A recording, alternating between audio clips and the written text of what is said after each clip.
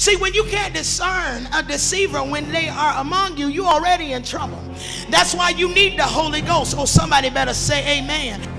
Throughout this journey, the more anointed you get, the more people are going to see the hand of God on you, and the more deceivers are going to come and try and draw you away from the purpose of God. You can walk and speak a thing just like God did. When there was darkness, God said, Light be, and light was. He's breathed breath into you and He told you to take dominion. He fully expects for you to look at a dark situation and call light into it because you've been made in His image and in His likeness. You are like little g in the earth. You must understand that you have potential locked on the inside of you, just like Adam and Eve had in the garden. They were full of potential.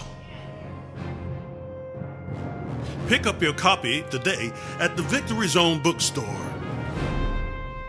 Nothing can stop the Word of God.